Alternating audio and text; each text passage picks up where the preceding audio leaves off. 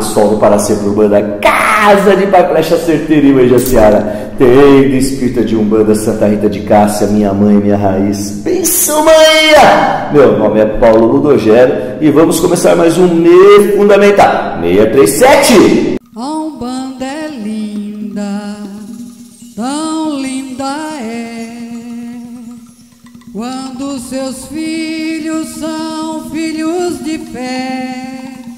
A Umbanda é linda, tão linda é, quando seus filhos são filhos de fé.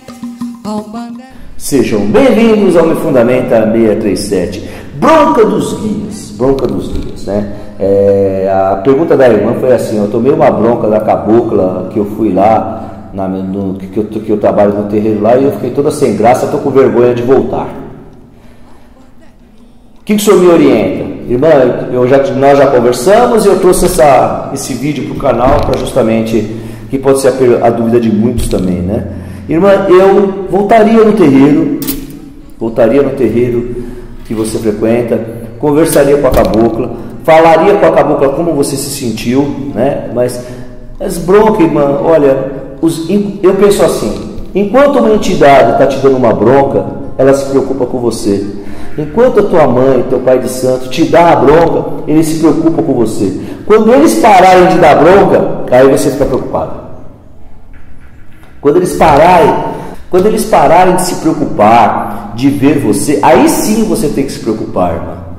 Porque bronca faz parte do nosso aprendizado, a bronca dos guias faz parte. Eu tomo bronca até hoje nas entidades que trabalham comigo.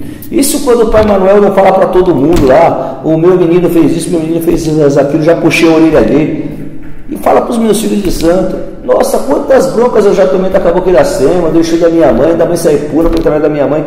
E assim, eu vejo as broncas dos guias como orientação. Eu não estou falando humilhação, humilhação é outra coisa. Estou é, falando bronca no sentido de, de evoluir a pessoa, de ajudar, de ensinar. Não estou falando de humilhação. Isso para mim é outra coisa. Estou falando de bronca mesmo, bronca que os guias querem nos corrigir, eles querem nos dar um alerta, querem chamar a atenção, nos trazer para a realidade, nos trazer para que nós possamos entrar no eixo e continuar a seguir o caminho de luz, o caminho da verdade, voltar para o caminho. Que irmã, vamos e venhamos e convenhamos, quantas vezes nessa vida nós já nos desviamos? Quantas vezes nessa vida nós já saímos daquele caminho? Nós já saímos do caminho. E se não é um guia, ou um amigo, ou uma pessoa nos trazer de volta, a gente continuaria no caminho errado. Então a bronca, as broncas que os guias dão, no meu entender, é isso. Eu, graças a Deus, tomo bronca até hoje. Porque eu acredito que eu estou indo cada vez mais no caminho certo. Mas quando eu faço algo errado, seu Flecha Certeira, Pai Manuel, Sete Caveiras, todos os guias da minha coroa me dão bronca. Até do herê já tomei bronca. Até do herê da criança que trabalha comigo já me deu bronca. Então eu não vejo a bronca como algo de negativo. Eu, eu, eu vejo a bronca, sim, como algo, in, como algo instrutivo para que você possa se corrigir. E como nós mesmos conversamos, você conversou comigo, não foi uma bronca de, de humilhação, foi uma bronca, uma bronca de correção mesmo. Não é isso? Porque você estava conversando no momento que não podia conversar. Na gira, não é isso? E te corrigiu. Minha filha, você não pode conversar. Isso foi chamada de atenção, não foi nem bronca, né? Na realidade. Tá bom? Vamos.